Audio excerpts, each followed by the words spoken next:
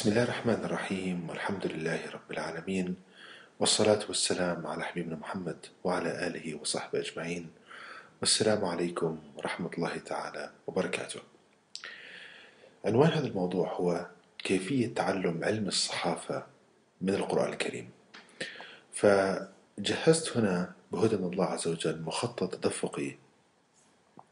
يبين إخواني إخواتي كيفية تعلم أفضل طريقة لتوصيل المعلومة للناس من التفكر في كيف الله عز وجل أنزل القرآن وكيف وصله للناس.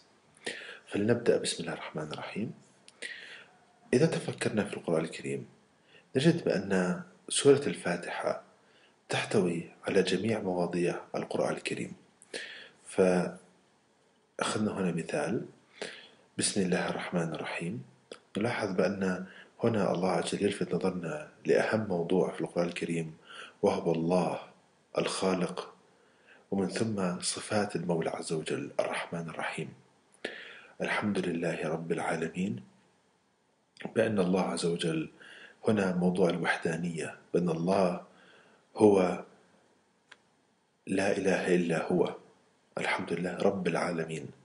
الرحمن الرحيم صفة الرحمة. وكيف أن كل هذا الخلق مبني على الرحمة. يعني القرآن الكريم سيتحدث عن الله عن الخالق عن صفاته عن وحدانية مالك يوم الدين. أي أن القرآن الكريم سيتحدث عن يوم القيامة. إياك نعبد وإياك نستعين. كيف نعبد الله عز وجل؟ كيف ندعوه؟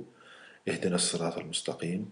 سيتحدث القرآن عن طريقة الله عز وجل والطريقة المثلى للهداية. صراط الذين أنعمت عليهم يعني ما هي الطريقة الصحيحة للنجاة في هذه الحياة والآخرة؟ غير المغضوب عليهم يعني القرآن الكريم سيتحدث عن الطريقة التي إذا اتبعها الناس سيجلب غضب الله عليهم ولا الضالين أي أن القرآن الكريم سيتحدث عن كيف أن الناس ضلوا وكيف طريق الهداية. فإذا نلاحظ كيف أن أول سورة في القرآن الكريم تتحدث عن جميع مواضيع القرآن الكريم. فنتعلم من هذا هنا الاستنتاج. إذا يعلمنا الله عز وجل أن نبدأ أي مقالة أو كتاب بذكر المواضيع التي تضمنها الكتاب لتوجيه القارئ المواضيع التي تطرح. هذه أول شيء نتعلمه من القرآن الكريم في موضوع علم الصحافة وكيفية توصيل المعلومة للناس.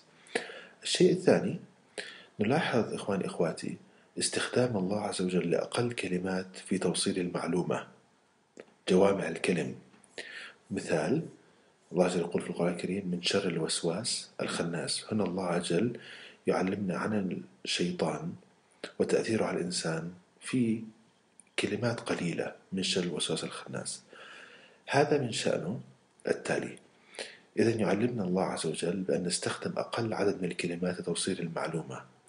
وهذا له الفوائد التالية عدم الملل للقارئ التحبيب بالكتاب عن طريق أن نفس العبارة كلما تقرأ يستنتج منها علم جديد في ظل الإنسان دائما رجوع إلى الكتاب. فإذا استخدام في علم الصحافة استخدام أقل الكلمات لتوصيل المعلومة.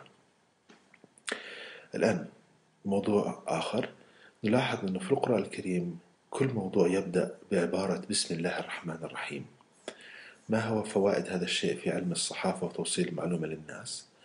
هذا الأسلوب يؤدي إلى التالي ترقيق قلب القارئ للموضوع الذي سيعرض بداية الموضوع بإبراز أهميته وتأثيره على القارئ. إذا يعلمنا الله عز وجل أن نبدأ أي موضوع بعبارة تبين حرص المؤلف على مصلحة القارئ وإبراز التأثير المرجو من الموضوع. كل هذه إخواني إخواتي أسس نتعلمها من القرآن الكريم في علم الصحافة كيف تكتب مقالة أو تعمل فيديو أو تحضر محاضرة؟ ما هي الأسس يعني اللي تكون ناجح هذا الموضوع؟ أيضا إذا تفكرنا في القرآن الكريم نجد بأن الله عز وجل يستخدم أسلوب عرض نفس المعلومة بثلاث طرق.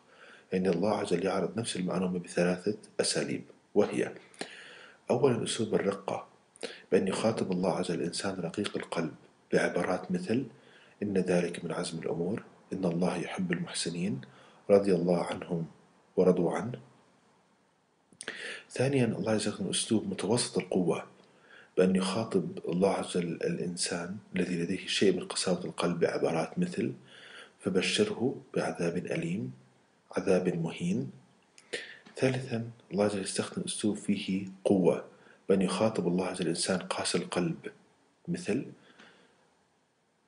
كلما نضجت جلودهم بدلناهم جلودا غيرها ليذوقوا العذاب.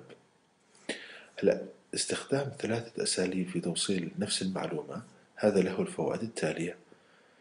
إذا كان الموضوع كله فيه قوة فذلك ممكن يؤدي النفور رقيق القلب منه. إذا كان الموضوع كله رقيق فإن ذلك من الممكن أن لا يؤثر في قاس القلب. فعلمنا الله عز وجل أن نعرف الجمهور الذي سيعرض له الموضوع. وتنويع طريقة توصيل المعلومة باستخدام أسلوب الرقة والقوة. فنلاحظ معرفة الله عز وجل بعباده وأن فيهم رقيق وقاسي القلب ولذلك يستخدم الله عز وجل ثلاثة أساليب في عرض المعلومة. شيء آخر نتعلم من القرآن الكريم بأنه يحتوي كتاب الله عز وجل على جميع فروع المعرفة من فيزياء كيمياء هندسة معاملات عبادات وغيرها. وهذا تصديقا لقول الله عز وجل في القرآن الكريم بسم الله الرحمن الرحيم وما من دابة في الأرض ولا طائر يطير بجناحيه إلا أمم أمثالكم ما فرطنا في الكتاب من شيء ثم إلى ربهم يحشرون. الله يقول ما فرطنا في الكتاب من شيء أن أي أن القرآن الكريم يحتوي على علم كل شيء. فوائد هذا هو التالي يعلم الله عز وجل بأن عباده يختلفوا في اهتماماتهم. يختلفون في اهتماماتهم فمنهم من يهتم بالفيزياء ومنهم بالهندسة ولذلك لجذبهم إلى كتابه فإن الله عز وجل وضع فيه جميع المواضيع لأن الله عز وجل يريد الهداية لعباده وأن يرجعوا إلى كتابه. فإذا يعلمنا الله عز وجل أنه في كتابة أي مقالة أو كتاب يجب أن تضع المواضيع التي تجذب القارئ. بحيث يكون في محور اهتمامه؟ أيضا نتعلم من القرآن الكريم. استخدام الله عز وجل الأمثلة لتوصيل وترسيخ المعلومة. فمثلا يقول الله عز وجل في القرآن الكريم بسم الله الرحمن الرحيم.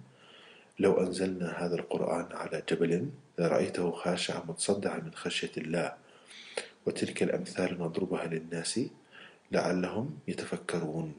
وتلك الأمثال نضربها للناس لعلهم يتفكرون. استخدام الأمثلة. إذا يعلمنا الله عز وجل أن نربط المعلومة بأمثلة لتوصيل وترسيخ وتفهيم المعلومة للقارئ. فالأمثلة هي من أفضل الطرق لتوصيل المعلومة للبشر. أيضا نتعلم من القرآن الكريم توصيل المعلومة بطريقة مباشرة. فالله جل يقول مثلا قل هو الله أحد. إن الله واحد أحد. مباشرة. طريقة مباشرة. إذا يعدنا الله عز وجل بأن لا نضيع القارئ في دوامة من الكلام المبهم وتشويشه باتباع أسلوب غير مباشر. يجب أن نكون مباشرين في توصيل المعلومة. فنلاحظ إخواني إخواتي كل هذه عبارة عن أسس تعلمناها من القرآن الكريم في علم الصحافة وكيفية توصيل المعلومات للبشر. فنلاحظ سبحان الله العظيم كيف نتفكر في القرآن الكريم. يعلمنا أسس في تعلم علم الصحافة وتوصيل المعلومة للناس. أفضل من أي شيء تتعلمه في أي جامعة على الأرض. ولمعرفة تفاصيل أكثر عن هذا الموضوع رجاء التفضل بزيارة موقع شبكة الإنترنت www.quran-miracle.com يمكن التواصل معي عن طريق البريد الإلكتروني زيد قرآن at gmail.com والسلام عليكم ورحمة الله تعالى وبركاته.